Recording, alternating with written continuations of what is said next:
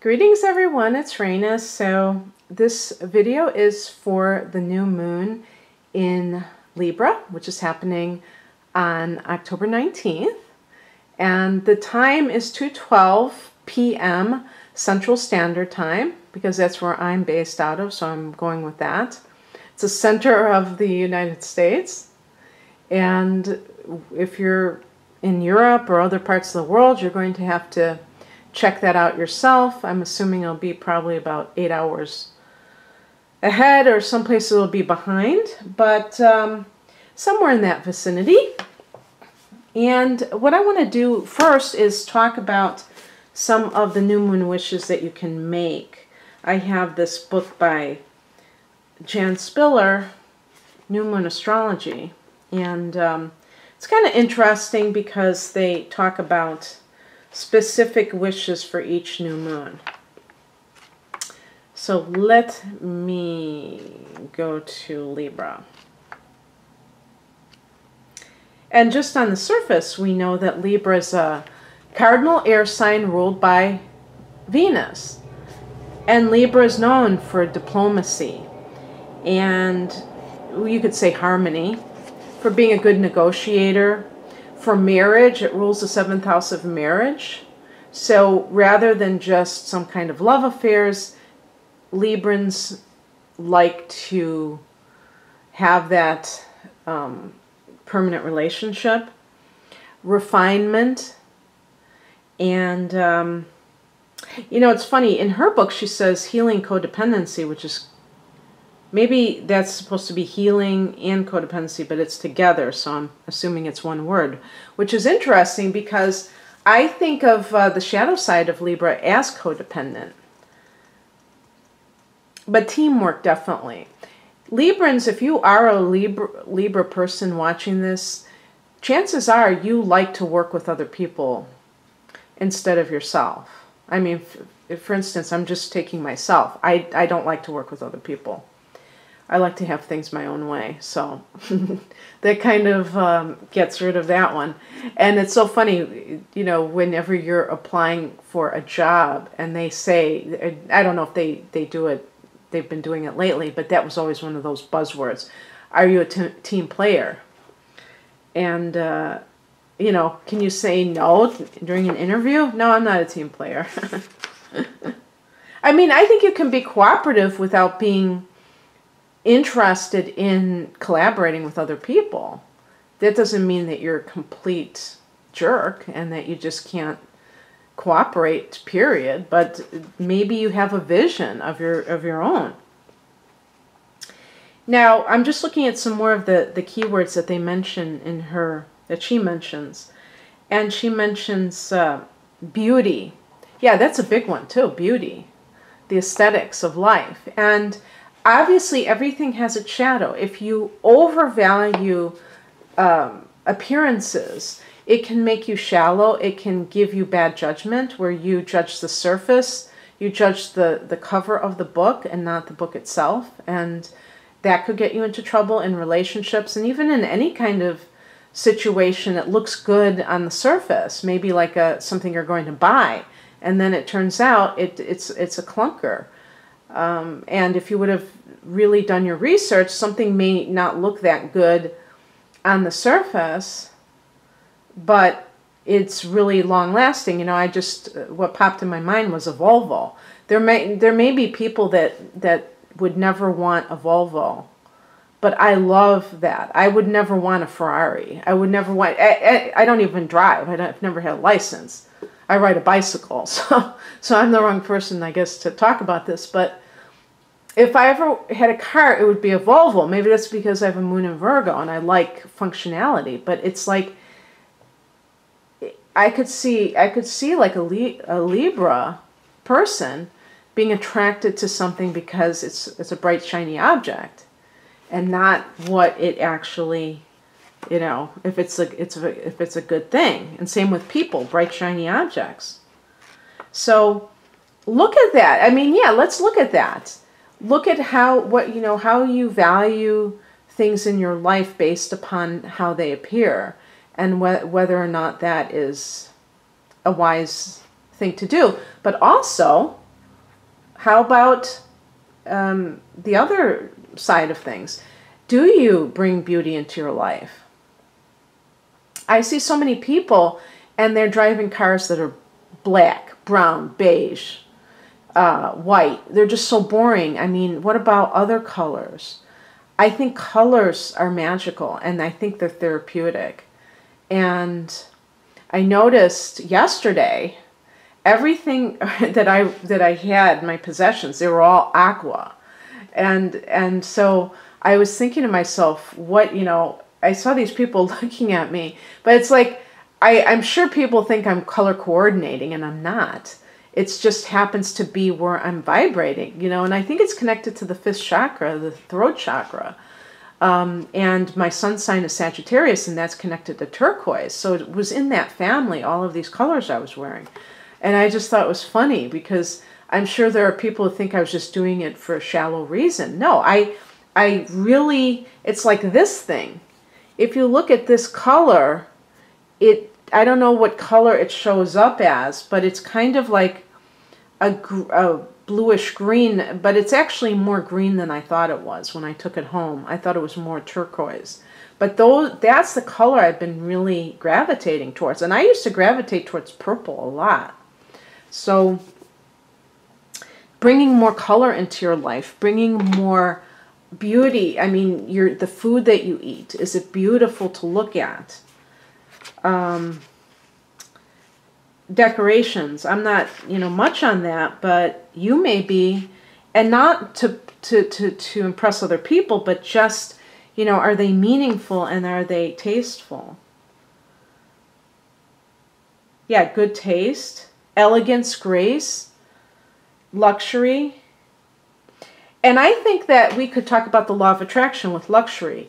You know, do you do you honor yourself with buying yourself something nice once in a while? I'm not talking about overspending, but you know, being able to appreciate yourself and also to think that you're deserving of receiving things that matter. So if somebody gives you a gift, are you capable of accepting it with um, a gracious attitude?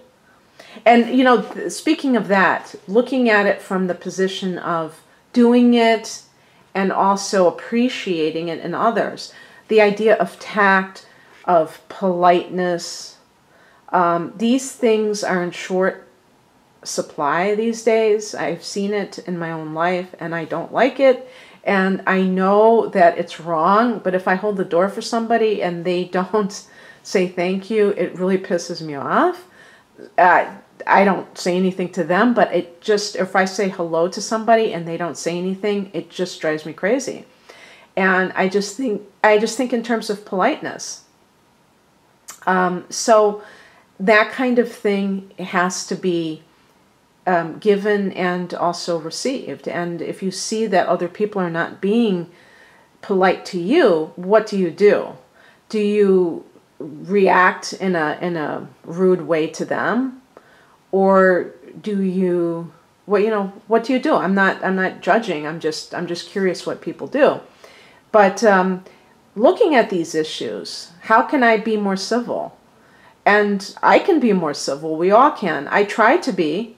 I try to be civil but there may be certain areas where i'm not you know?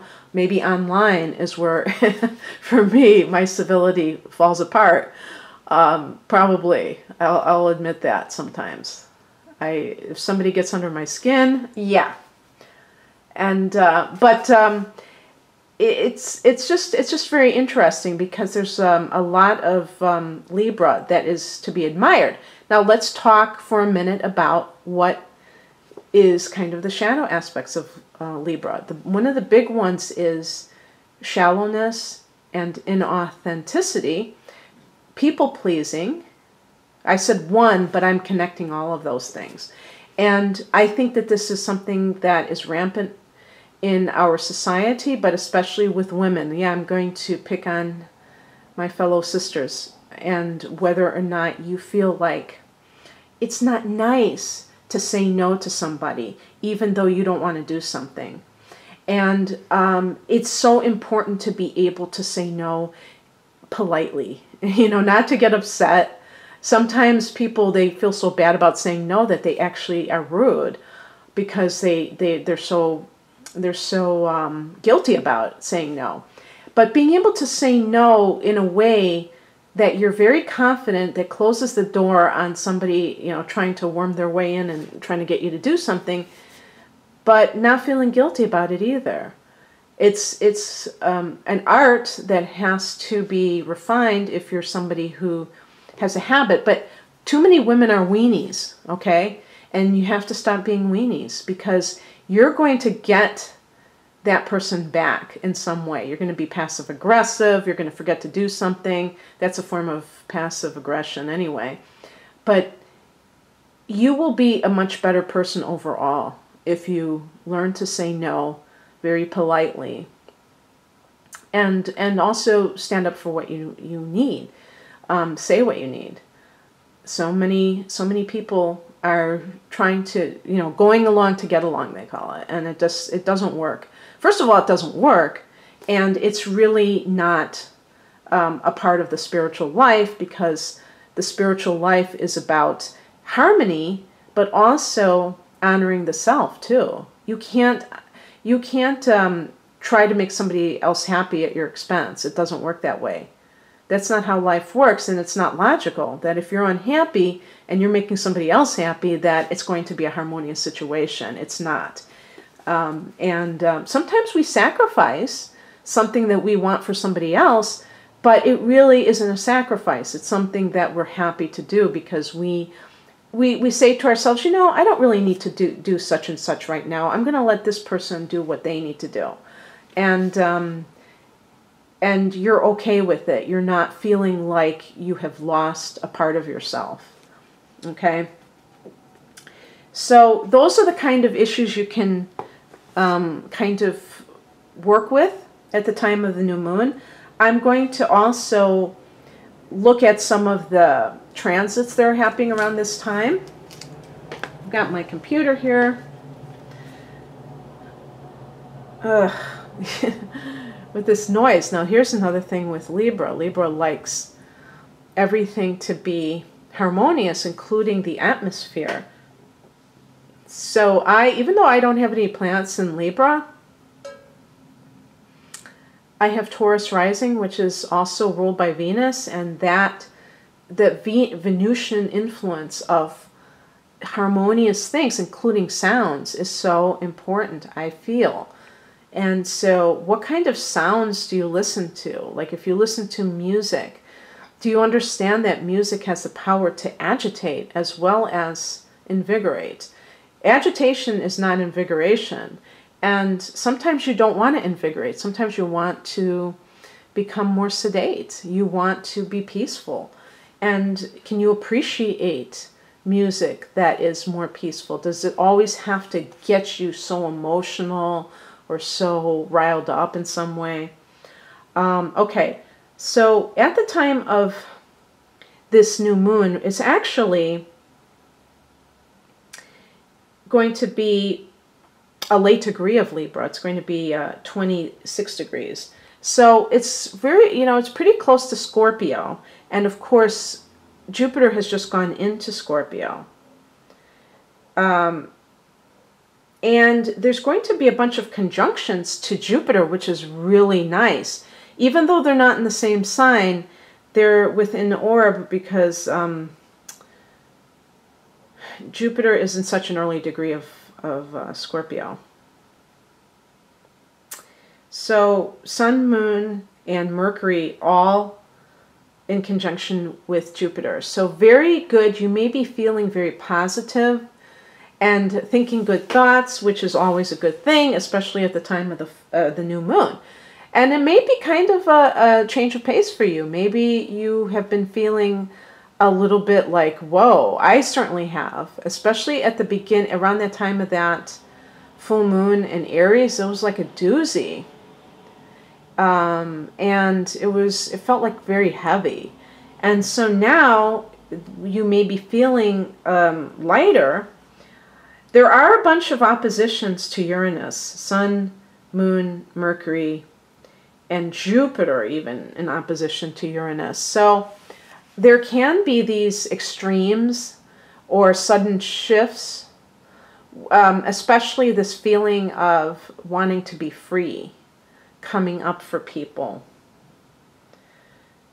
Uh, so Venus is in Libra, Mars is still in Virgo at this time. But they're considered a conjunction, once again, because of the the degrees that are apart. Conjunctions don't just rely on them being in the same sign because that's not always the case.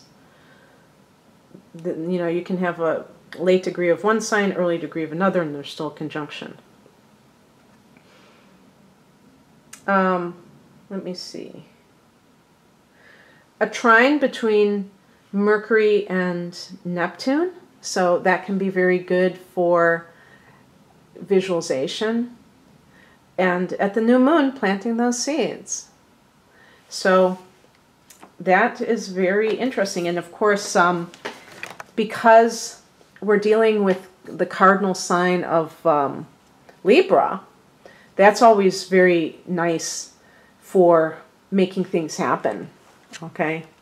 Cardinal signs make things happen. So I'm going to pick a card from the Wisdom of the Oracle deck. See which one I get. I hope I get a card I've never gotten before.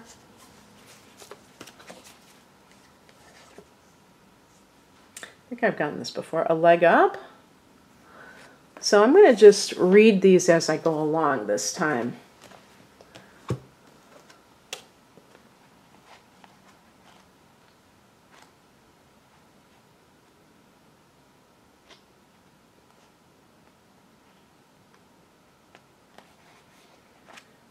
Receiving help, delegating authority, interdependence. Well, interdependence, definitely Libra. You've come to a point where going it alone is no longer optional for you. Life has a way of presenting you with the perfect people to align with who can give you a leg up during this next phase of your journey. Help comes to you in all areas of your, your life when you need a boost. The trick is to accept that aid so freely given. When you embrace interdependence, allowing teamwork and independence to commingle, miracles happen. Now is such a time. And I'm going to read the prosperity message for this card. Now is the perfect time to seek advice from a mentor or business advisor who has been where you want to go to help you get there too. If you do, you will receive very good counsel that will aid in your prosperity. It may also be the case that your endeavors have grown and you are in a position when it, where you can't you just can't do it all yourself anymore. Time to bring in on those who can give you a leg up. Trust that help is available and will indeed appear. Delegate authority to others so that you can take steps toward your big dream. The perfect people will arrive at the perfect time so long as you step forward for, forward with just a mustard seed of faith. And yeah, I mean, I should have I should have clarified that. I think sometimes those of us who feel like we like to do things alone, it's just that we may have had negative experiences trying to coordinate things with other people, but it doesn't necessarily have to be that way.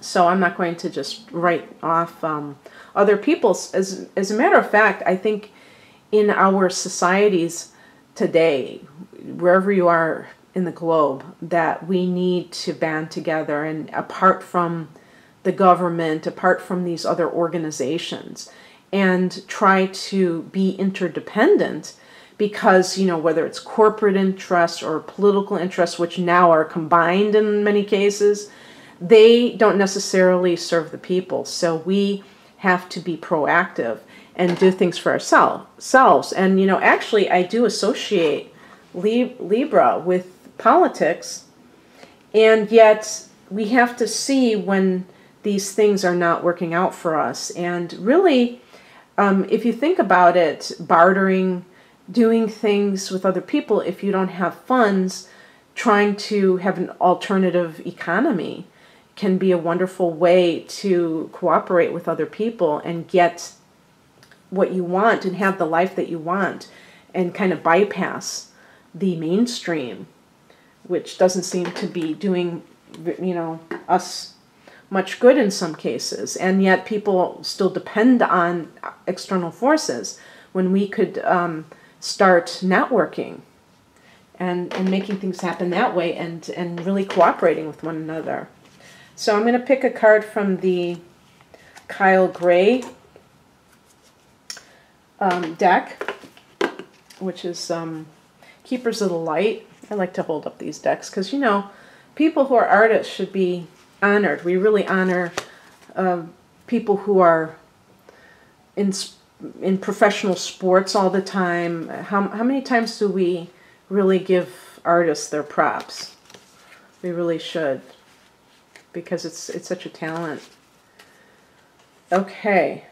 The Holy Spirit expect miracles. Yes, and especially with all of those those um, conjunctions to Jupiter.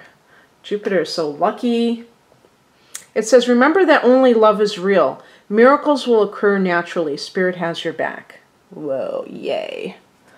I'm down for that. How about you guys? Or up for that? okay, and let's see what the definition is or the Holy Spirit. It's interesting, the Holy Spirit, because you think of Father, Son, and Holy Spirit. So, is the Holy Spirit a man too? Holy Spirit. Oh. Huh. That's funny. I can't find it in my book. Am I looking at the right book?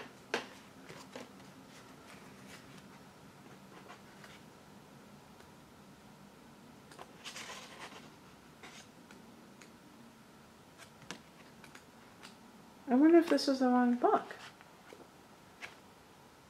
No, this is... It's funny. I wonder if I have Doreen Virtue's deck here by accident. No, this is the right deck. So I'm trying to figure out where is Holy Spirit. Huh.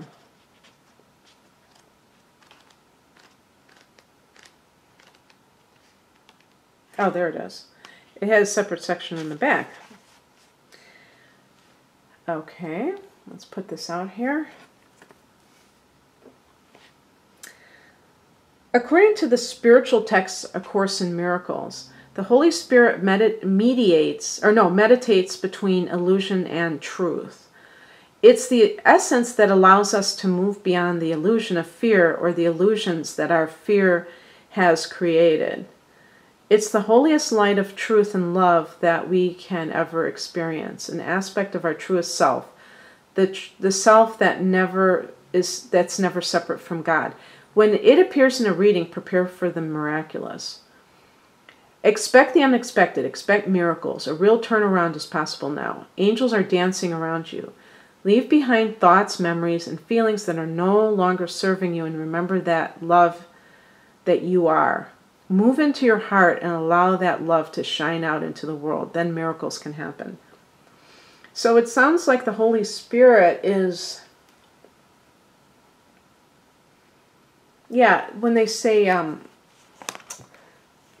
spirit soul, you know, part of that soul of us, you know, that energy field that connects us to God. It's, it's always an interesting um, it's always interesting to try to pinpoint what, what these terms mean. Sometimes they seem to mean different things to different people. Okay, you know what I'm going to do? Just because I'm the kind of person to do something like this, I was hearing more about Doreen Virtue, and I think she's been saying not to use her cards. So guess what, Doreen? I'm going to use your cards. How do you like them apples? You know, if you if I bought your deck, I'm going to make use of your cards. That's all that there is to it. There's nothing wrong with these cards. You can do whatever you want to do, but don't tell me what to do.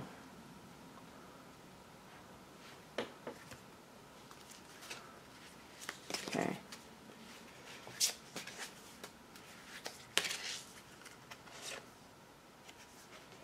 Follow your heart, St. Francis.